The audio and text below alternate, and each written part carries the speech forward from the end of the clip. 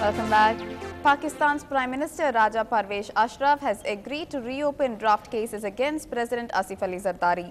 The ruling Pakistan People's Party denies that this is a setback for Mr. Zardari, saying that the Prime Minister has done this in consultation with him.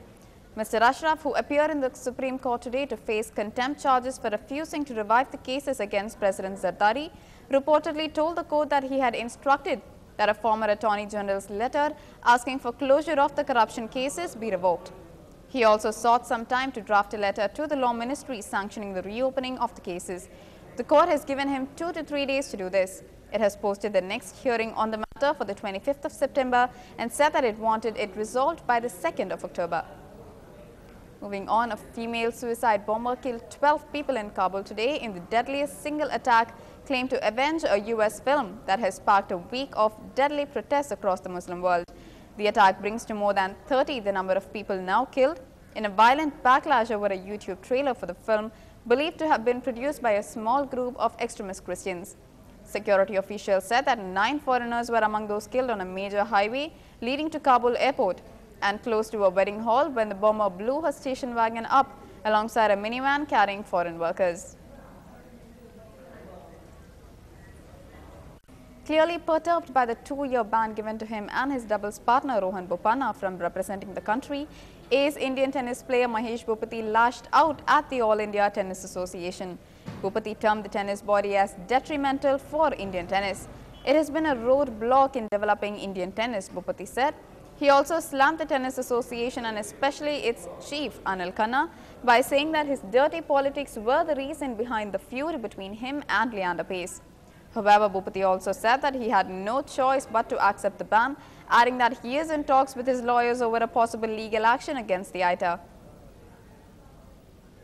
Here to detail episodes of the personal vendetta the ITA and its dictatorial rule have carried out against me over the last decade you know, a rebellion, you know, not, is not going to change anything. I mean, to be honest, I think a lot of play, lot of, of these members of the executive committee are passionate about the sport, and you know, if they actually feel any shame towards what they have not been able to deliver for Indian sport, they should re resign and move on and let the next generation actually do something about it. It's a sensitive issue, and the lawyers have said that I should just leave it till they decide the course of action. Like I said, they're still exploring. So once we decide to take that route, we haven't confirmed that we are then I guess we can address that stuff.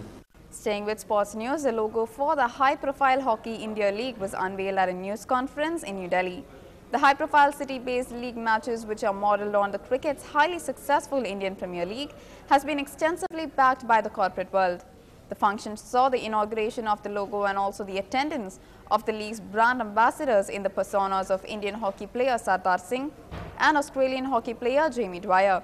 Parliamentary Affairs Minister Rajiv Shukla, also a member of the HIL, stated that such tournaments were necessary for the upliftment of hockey in the country.